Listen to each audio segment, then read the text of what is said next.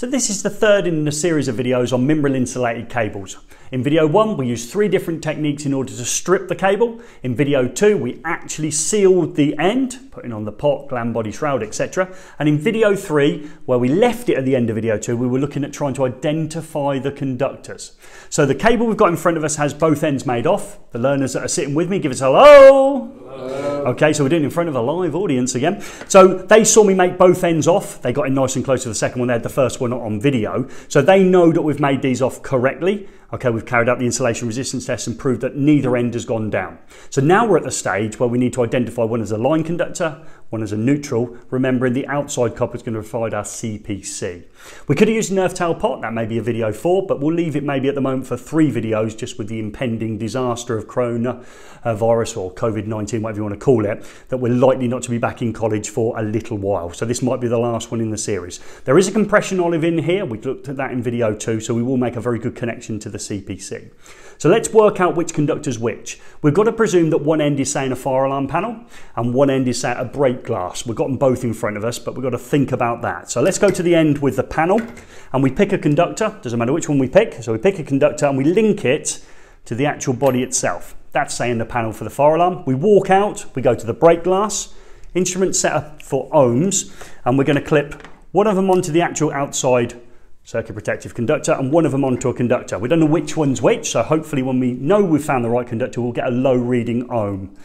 Uh, let's have a look.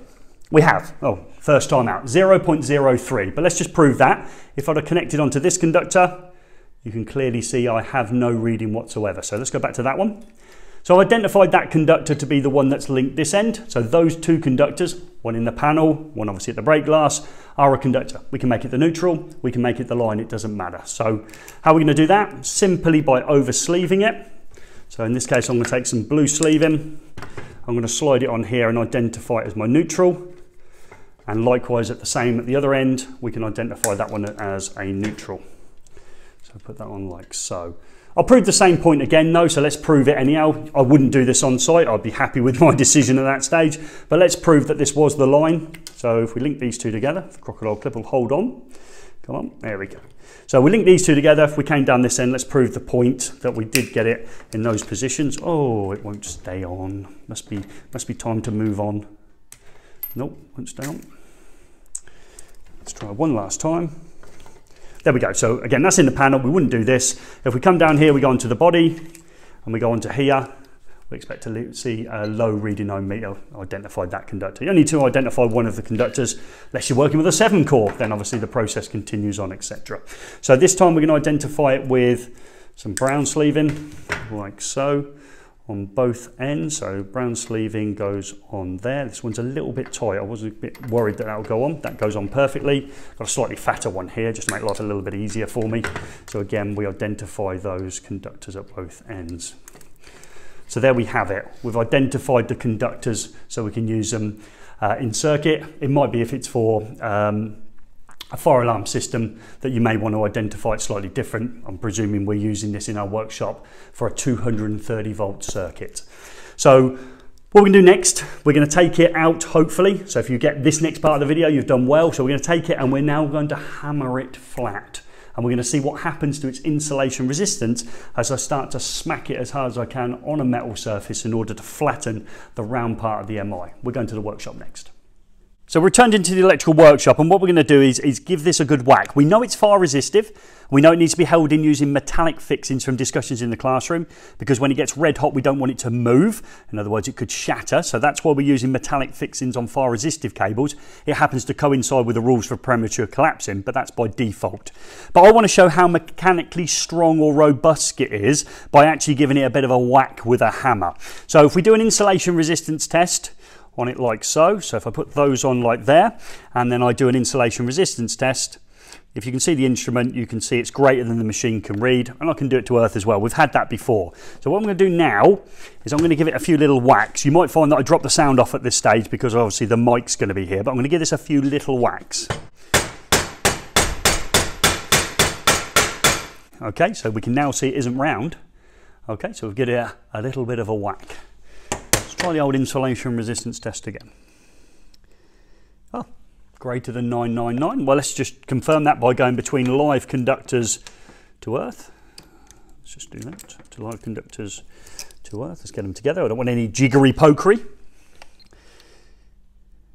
Ah, okay. We go again. Hit it a bit harder this time, I guess.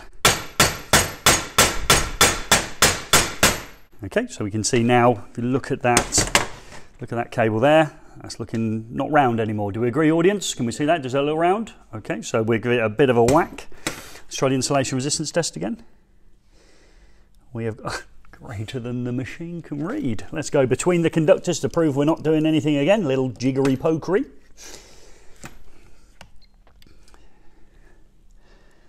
There we go, greater than the machine can read. I whack it again.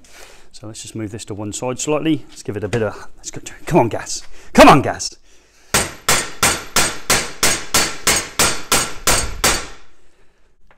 That's got it. That was a spider, you wouldn't think it would still be with us. Let's have a look. Dead short. Okay, we're at the stage now we've got a dead short. Let's, let's prove and see if we've got a short to earth as well. Actually, we haven't. Okay, that one's clear. And let's try this one here. Actually, it's only shorted out between the conductors. Obviously, at that stage, it has failed.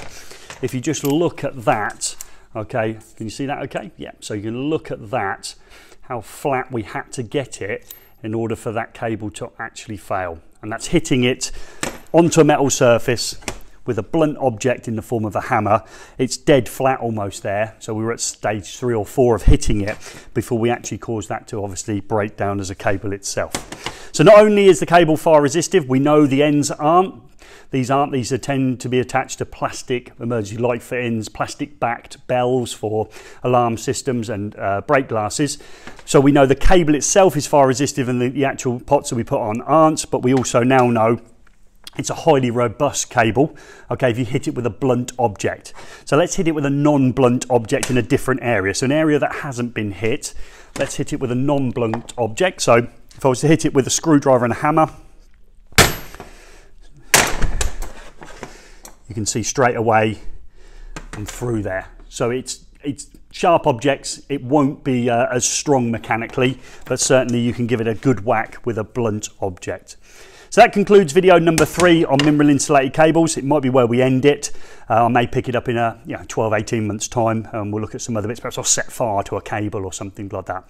But for now, we hope this video has been some help.